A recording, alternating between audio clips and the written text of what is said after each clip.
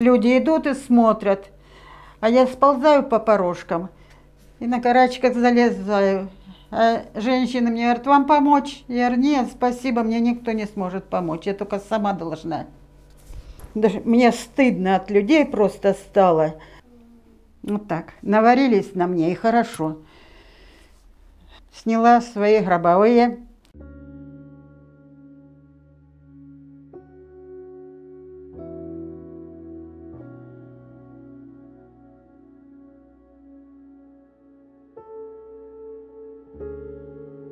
вот за, за домом у меня вывалилась стенка. Вот. А когда вывалилась эта стенка, ну что мне делать? Когда к Пятаку обратилась, он направил письмо соцзащите. Пришли девочки, две, ну, не девочки, женщины, можно сказать, да. Ну, короче, они посмотрели и сказали, что мне нужно этот, душевую кабинку сделать и пантус откидной на порожках. Заказала фирма «Эксперт» вот этот пантус никому не нужный. При, пришел, он с фирмы или нет, я не знаю. Молодой человек, зовут Виталик его. И вот он говорит, вот эту мы перегородку выбросим, и мы сделаем пантус. Я представляла, что он по дороге будет пантус как-то спустят и по дороге. Никто мне не объяснил ничего, я вообще возражала, он мне не нужен, мне вот с порожка и все. А он говорит, а у меня, бабуля, заказ. Если вы откажетесь, не позволите мне делать, я попаду на большие деньги, я вас прошу. Я сделаю, а вы тогда его разберете. Примут у меня этот заказ. Ну, что жалко человека, какая мне разница, пусть. А когда он начал делать вот это вот, я в ужасе была. Да но зачем мне? Во-первых, машину во двор не загнать. Ну а этот, который делал пантус, говорит мне, давайте я вас, его выкуплю. Я говорю, да ты не выкупай, ты купи на забор железо.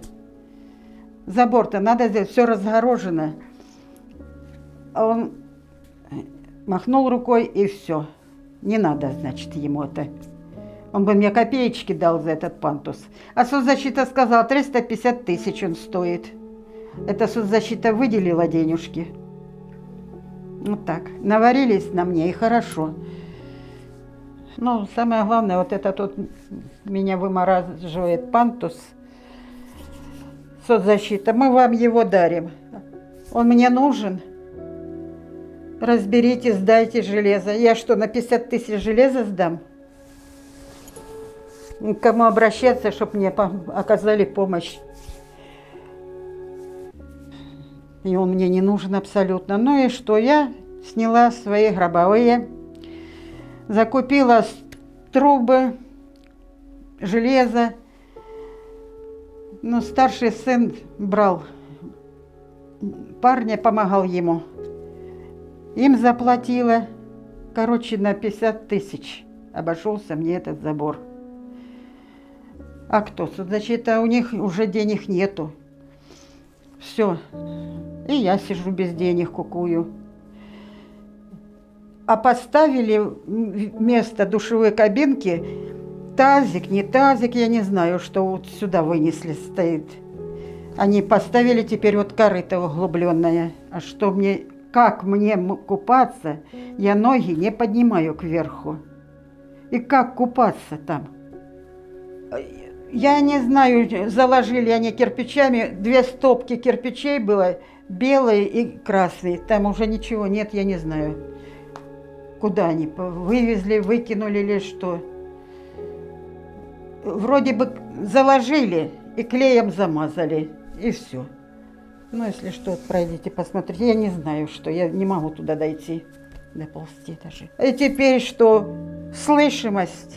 Соседи ходят, я слышу, как будто они у меня тут живут. И с одной, и с другой. Соседи тихие. Пусть мне выделят деньги за пандус, частицу. Мне хотя бы сто тысяч дали.